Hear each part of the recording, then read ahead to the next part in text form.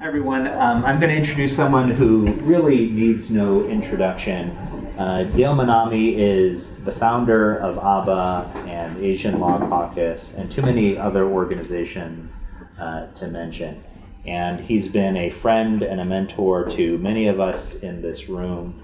And so, but there are some of you who haven't uh, met Dale before, and we thought in this year where we are um, uh, uh, reconnecting with the purpose of AABA, uh, engaging in advocacy, that uh, we thought it would be nice to hear from Dale about the founding of the organization, where he thinks that uh, what he thinks we should be focusing on, and also to have a conversation uh, between uh, you and him. So, Dale. Thank you. Um, yeah, it means I'm really old because uh, we started talking about AABA in 1975. Only we had an East Bay group and just a little bit of history, and because I think it's important. And we started this uh, group called in the East Bay called the, and it grew out of the Asian Law Caucus experience that we were part of. Uh, it was called the Coalition of Asian Lawyers or something. We, we made up something. And we had heard that there was another group in uh, San Francisco that was trying to put together a uh, an Asian American Bar Association type of group. Our group was focused on a couple things. One is appointments of judges uh, to diver- diversify the judiciary, which was, you know, really uh, non-diverse at the time. The group in San Francisco were more like business oriented, so they wanted to put together groups that could, you know, exchange uh, clients or refer each other clients. Uh, we were friends with some of the folks. Some some of them were my age. Um, at this point, it's kind of sad. I'm thinking about this, but you know, everyone has passed on of those original founders. In in our group, we had about four people, five people. One of them was Ken Kawaichi, who's a judge. He's still around. The other one is a guy named Mike Lee that a lot of people don't, don't know about, but um, he was one of the founders of the Asian Law Caucus. Uh, he moved on to private, I mean, uh, practice in San Francisco at Legal Aid. And in about 1975, we started getting together with the group in San Francisco because Mike knew some of these folks. And uh, we sat down to have these series of meetings. Actually, they were kind of drink fests because we, one of the uh, original founders was a guy named William Jack Chow, and he owned a restaurant called the Four Seas in San Francisco, and we would always go to the Four Seas, and we'd meet. We also met at Chinatown Legal Aid, uh, and then we started hatching out a discussion about what this group would do. The San Francisco group again tended to be a little more business oriented. We were more social justice oriented and uh, diversity oriented. Um, but we came to an agreement that you know we should try to have an organization. Uh, we named it the Asian American Bar Association. Uh, there were about about seven or eight people who were involved in that original group. Um, because there was a disparity or difference between perspectives, uh, we kind of figured out that we needed to develop. Well, Mike and I especially developed a idea or a plan that we needed to put this organization on a progressive track.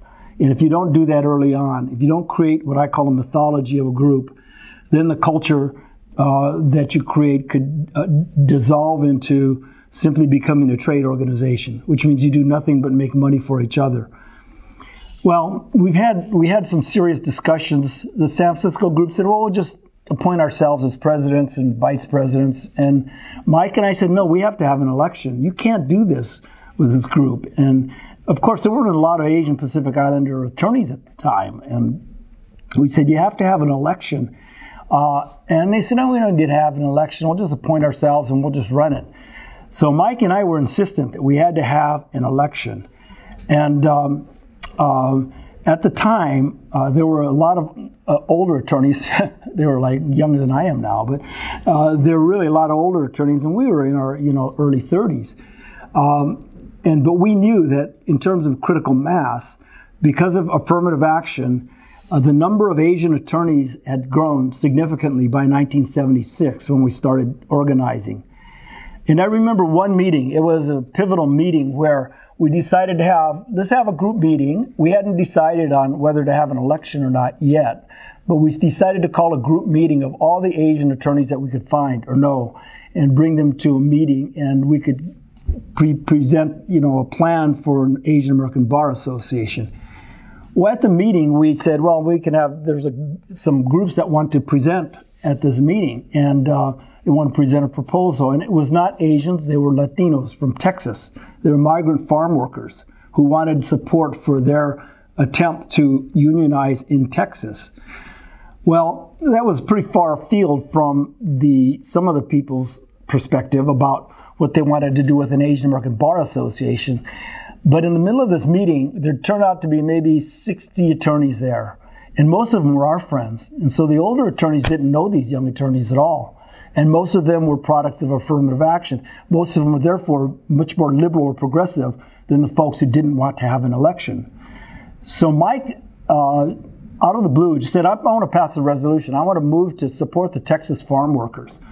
And um, we said, the, we let Jack Chow, he was the oldest member of the group, uh, run that meeting. And he said, well, let's, uh, we'll have a vote and then we'll discuss some of the other electoral issues. We had the vote, and because of um, it was a it was a hand vote, and all all of our friends, probably 55 of them voted, yeah, we want to support them. And the other five, who were more the conservative types, you know, saw what was going on and realized, whoa, we're, we're outvoted completely. And so the thing, it passed unanimously. Next day, we had a meeting, and Jack Chow and the other young, uh, older attorneys said, yeah, we need to have an election. They knew that if they didn't have an election, make it democratic, because that was the basis, and Mike and I position was that it had to be a demo, democratic election. If we didn't have that, then we're, we're, we're not a legitimate organization. And to Jack's credit and some of the other folks, they agreed we're going to have an election. So what we did is we thought, okay, we're going to have an election, we're going to have a board, so we're going to run a slate. And so we wanted to keep the older attorneys because they had resources, they had contacts, and they were really decent people who wanted to do something for the community as well as for themselves. Uh, so we ran a slate for the board. We ran Jack Chow, or we acceded to the idea of Jack Chow becoming the first president. Uh, he was well known, well regarded um, businessman in Chinatown, and then we had, took 10 of the 12 seats. So, in other words, we had a really liberal board. I had uh, stolen the bylaws from the Japanese American Bar Association. oh, no, excuse me, the Southern California Chinese American Association, which was the first uh, Asian bar in California, then the Japanese American bar in Los Angeles. I had a lot of friends down there because I grew up there. And I just basically took their bylaws and, well, we didn't have search and replace then. It was an IBM Selectric. you, you all don't know what an IBM Selectric even is, probably. But um, um, we redid the bylaws, only changed the name and put uh, AABA on it. Um, what was different for us is we didn't have critical mass that they had in Los Angeles of a group of Chinese Americans, a group of Japanese Americans. That's why they formed separate organizations. We had also come from a culture up here, inclusive culture of Asian American. So it wasn't just simply uh, a, one ethnic group or you know series a number of ethnic groups having their own bar. We felt that number one is that we didn't have critical mass. We needed to to bring everybody together to present a stronger front politically because we our idea as as it evolved at that time was to participate in bar activities to lobby for judges to uh, cross refer cases you know we this was not a concession it was just something that was a smart thing to do to help our uh, asian american attorneys grow and thrive uh, and take positions on public issues well, the conservative folks didn't want to do that as much. And at that time, you know, there's a raging issue of affirmative action, Bakke versus the University of California. And when we voted, of course, the, the, the uh, uh, board members that we had, which we essentially owned that organization because we had 10 out of 12 votes. And we, uh, uh we, we uh, you know, were able to take positions on progressive issues. we did one thing that was a little bit strange at that time, but we had a plan for that. And the idea was that the president got to pick the uh, nominating committee. The nominating committee then nominated specific people for offices the next year. When we knew that Jack would nominate one of his friends who was going to be much more like he was, which is, you know, you, you can call him conservative, but you know, in San Francisco, if you're moderate, you're really you're really a communist in the rest of the country, just about, or socialist at least. So, so I mean, I can't. I, when I say conservative, I don't mean like you know this guy is a raging uh, Donald Trump, uh, but but they just had a little different attitude. So of course he did nominate somebody that was more conservative, and we ran a write-in campaign, which was you know Mike Lee Michael G.W. Lee. Mike, by the way, became we became partners, and then uh, we we were not. Then we dissolved that partnership. But he also became president of the San Francisco Bar Association, the first uh, minority president. Really great guy. He never gets credit for anything like the caucus or the AABA or the bar presidency because he doesn't really care. He's really just uh, just a terrific person. Uh, and one of the last remaining living uh, reminders of the, the Asian American Bar Association founding. So we ran Mike Lee as a write-in candidate, and he just won spectacularly. Um, I was uh, uh, nominated, or I took the position of secretary. I forgot how that happened. So that was the only that was the only formal position I've ever had in AABA. I think I was on the board for a number of years before, but I never was officer. Um, but Mike became president.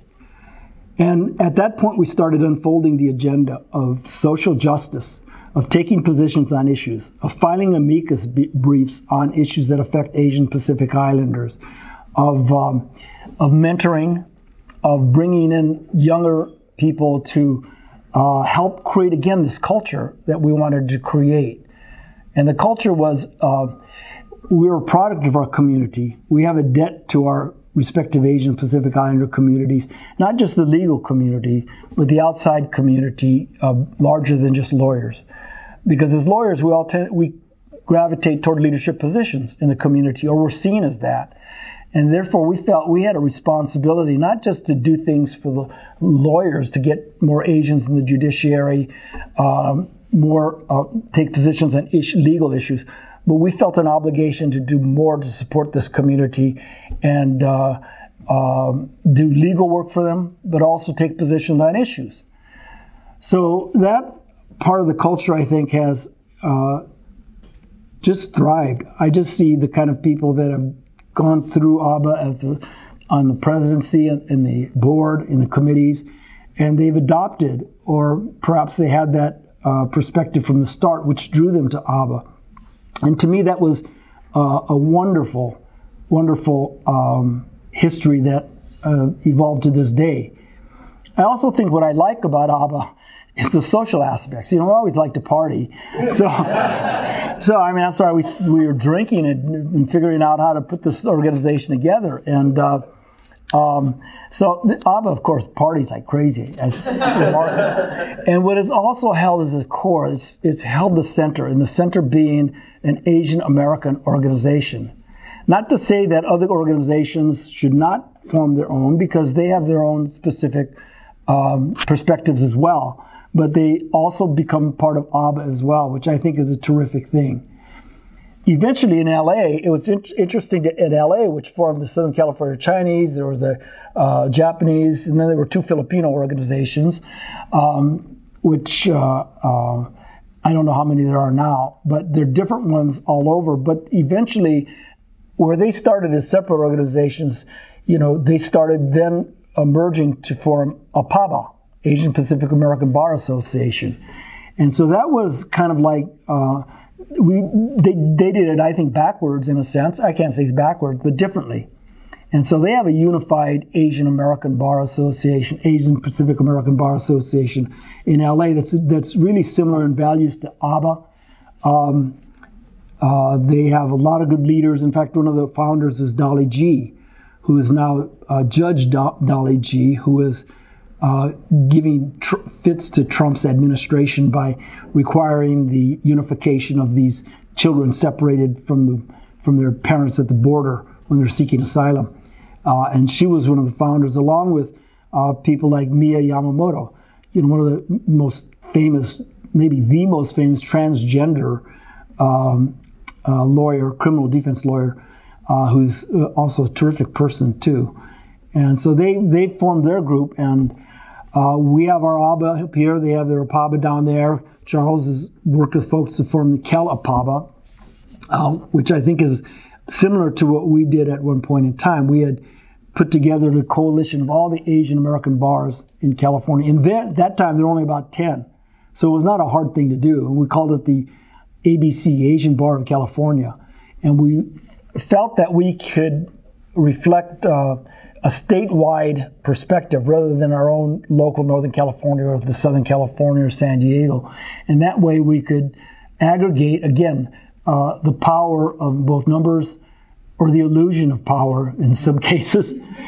Uh, but it eventually became uh, defunct and moribund. And Charles and, and a lot of people have uh, revived that organization, which I think is a really wonderful thing. Anyway, so there's a lot of evolution of different groups that have now become part of the Asian Pacific American Bar of California, Cal APABA. Uh, and it's good to see that we have some at least um, coherent or cohesive, semi cohesive organizations that can reflect the interests of Asian lawyers. Having gone to that judges event, uh, how many of you went to the 100 judges event? Uh, it was spectacular to me because when we started, um, you know, I gave a little talk, and there were only 14 Asian Pacific Islander judges in California. That was in 1976 when we started lobbying, and now there are over, I think, 130 uh, I've heard. And to see that development, um, to see the growth of AABA, to see APABA, uh, is really gratifying. So I think that's as much as I have. I have a lot more to say, but it just usually it's not that interesting. So if you have questions, that would be um, I'd be happy to try to answer them. So thank you.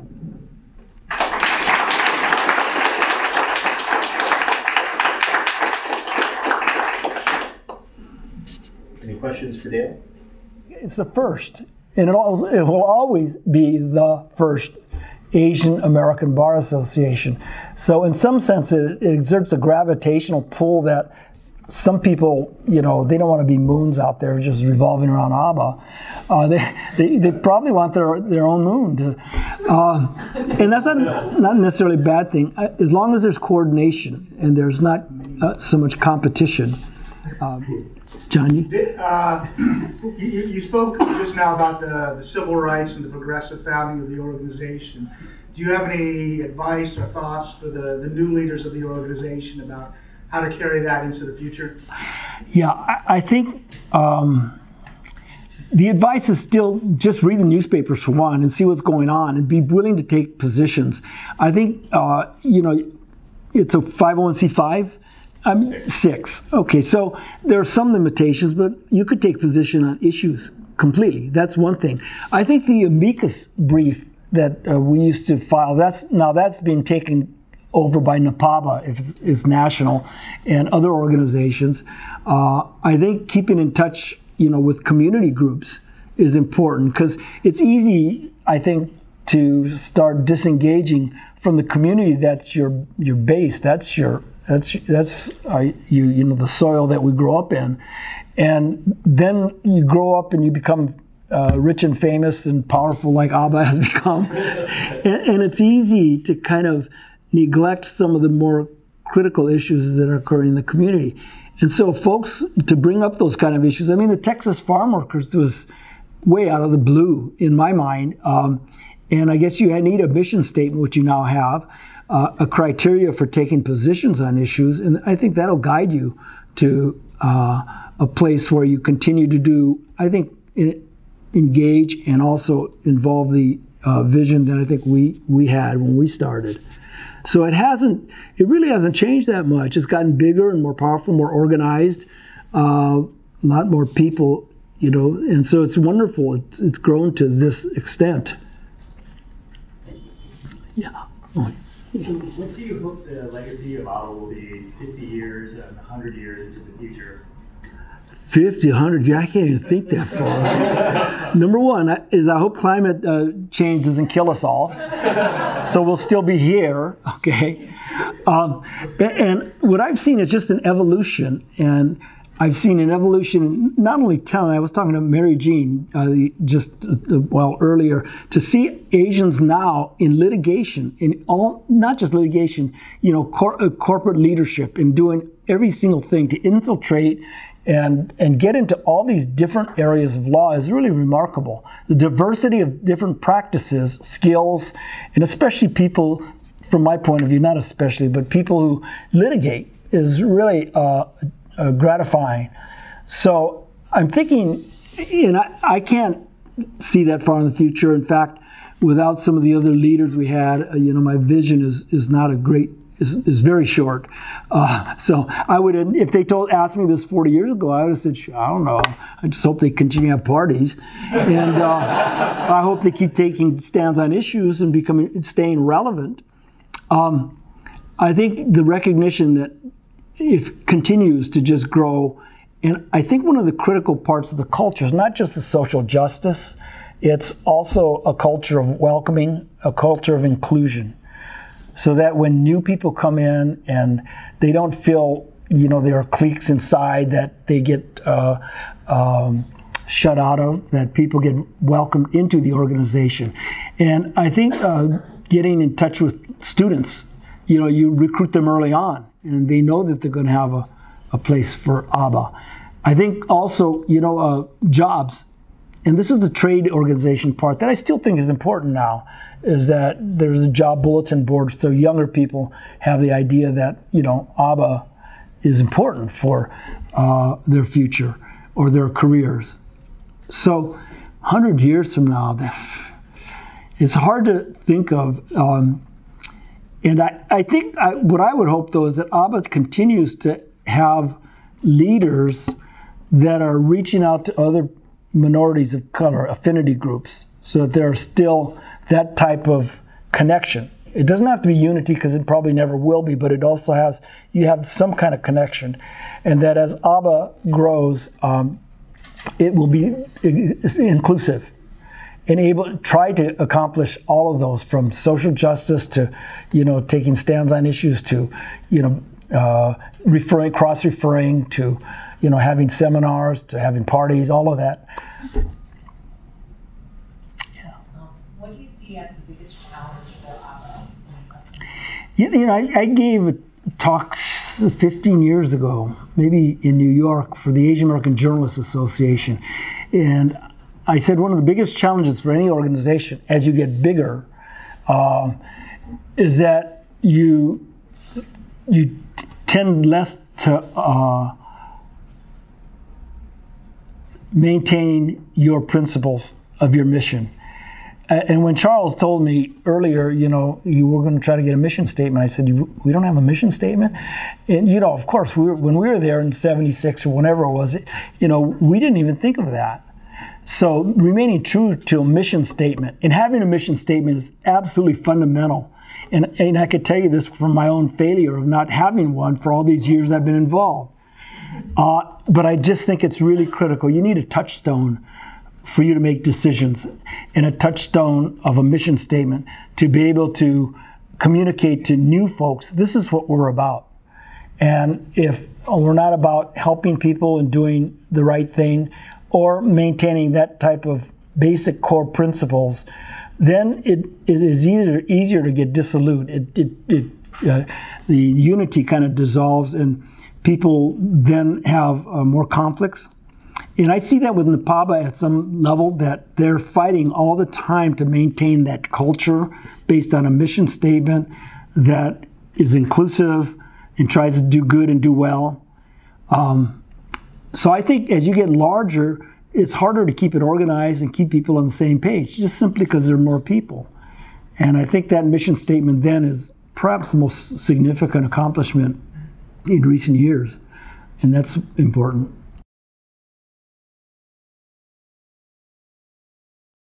Right, if there are no further Good. questions, uh, I think No Dale further has questions, I rest my pick up his case. daughters. I do. Thank you. Oh, yeah. All right. Thank you, Tom. Thank you all.